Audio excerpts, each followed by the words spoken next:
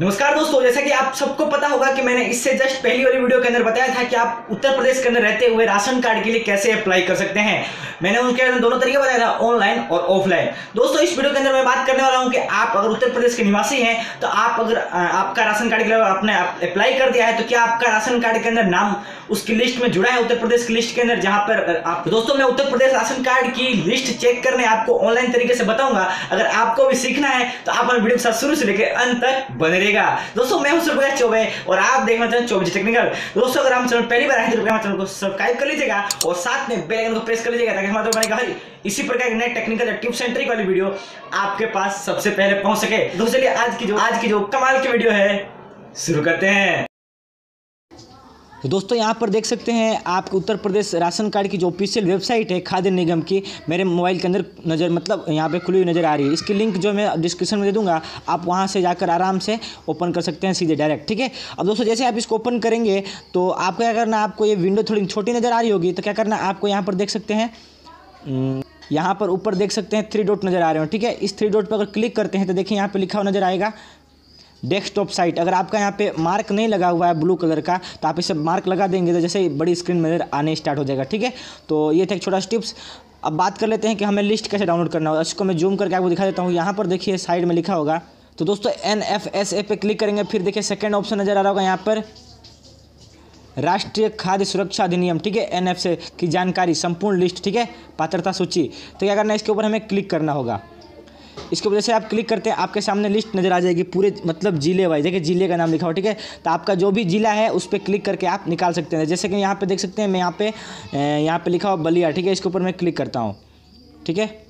अब देखिए, बलिया के देखिए, ऊपर लिखा होगा यहाँ पर, आपके ज़िले का भी यहाँ पर लिखा हुआ नज़र आ जाएगा, नगरीय और यहाँ पे ग्रामीण, ठीक है? आप जिस क्षेत्र से भी निवास करते हैं, वहाँ पे क्लिक कर लीजिए।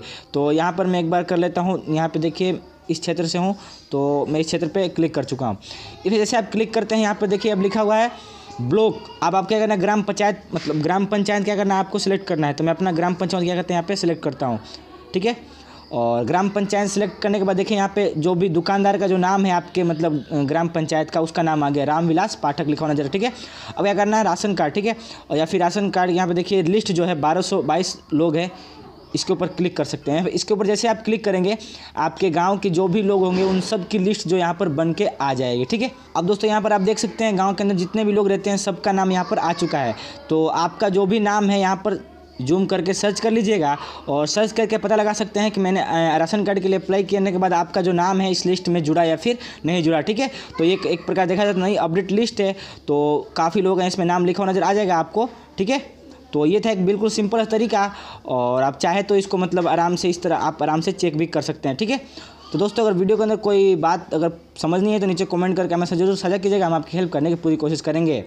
धन्यवाद। जैसे कि दोस्तों आपको इस वीडियो के अंदर दिखा दिया है कि आप कैसे उत्तर प्रदेश के निवासी हैं तो कैसे हमसे अपने मतलब परिवार के मुखिया का नाम कैसे उस लिस्ट के अंदर चेक कर सकते हैं। दोस्तों, अगर इस वीडियो से रिलेटेड कोई भी प्रॉब्लम हो तो नीचे कमेंट करके हमें ज़रूर साझा कीजिएगा। हम आपकी हेल्प करने की ज़रूर कोशिश करेंगे।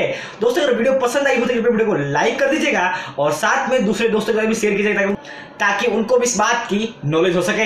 दोस्तों, अगर आपने मेरे चैनल को सब्सक्राइब कर लिया है तो आपको बहुत बहुत धन्यवाद। और नहीं किया तो हम चैनल को सब्सक्राइब कर लेना चाहिए, क्योंकि आने वाले समय हमेशा नए वीडियो लेकर आऊँगा, जो आप सब के लिए बहुत ही खास होगी और आप सब के लिए बहुत ही हेल्पफुल होगी। दोस्तों, मिलता हूँ वीडियो में एक अच्छी और शानदार वीडियो के साथ। तब तक के लिए जय हिंद, जय भारत।